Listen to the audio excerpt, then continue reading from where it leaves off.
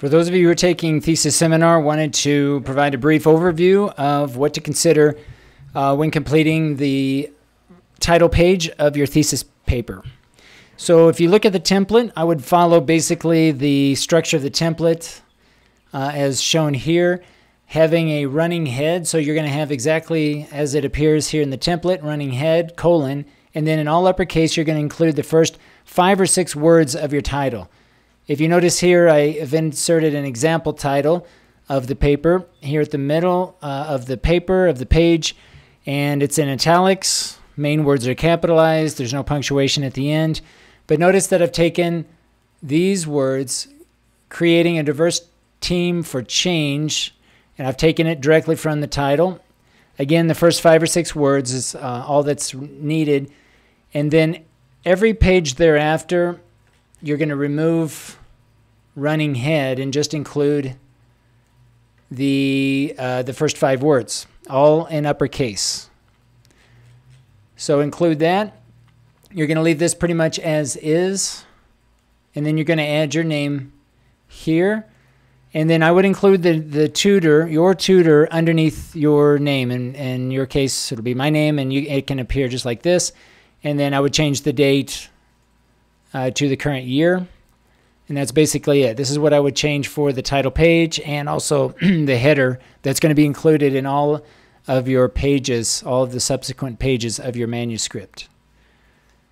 Here I would add your name again, where uh, and then the title of your thesis. So on the second page, under approval page, include the title of your thesis just as just as it is uh, listed here, and include your name and and then let's see the tutor. Add the tutor's name and let's see here the tutor's name and then the faculty of the language department, probably that would be uh, Wendy, the head of the department, the department head.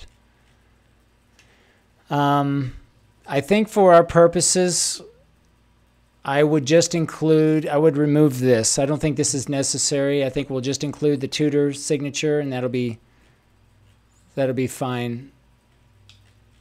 That'll be enough, I believe. Okay, and then you'll have your abstract, and so on, the rest of your manuscript.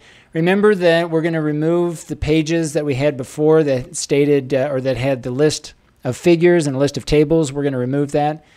And in this particular case, notice that we've got our, yeah, there's something a little weird here. There's, in this example, I'm going to remove, I'm not sure what this is. So I'm going to remove this. And basically what you need to have is right below your table of contents, you're going to have, you should have the first page of your introduction. So let me remove this space. Let's see, where are we?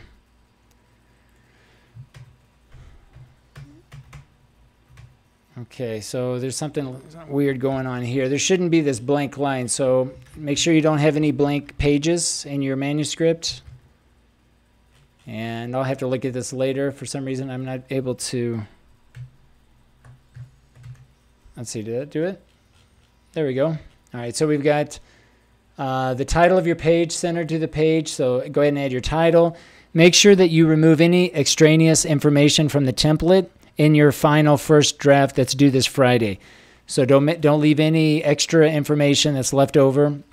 Uh, go ahead and remove all of that. That includes also any uh, sample references that was that were included in your template. Go ahead and remove those.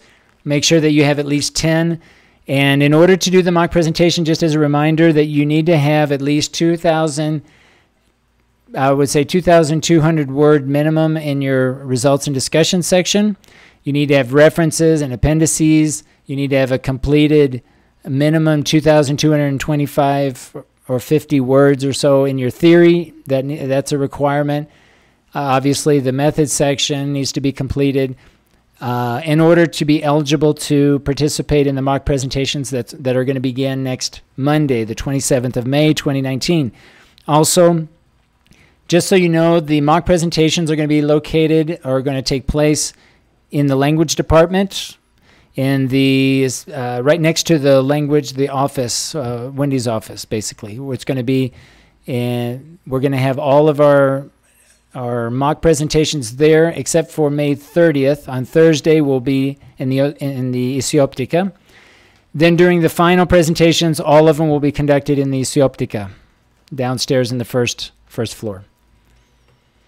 All right, so I uh, just wanted to touch on just a few points uh, as you're finishing up your first draft. Make sure that your man manuscript is completed and make sure that the title page is completed as, as I mentioned uh, here. If you do have any questions, feel free to leave comments in your Google Docs uh, or send me an email or come by my office and we can discuss it face to face or during our tutoring sessions.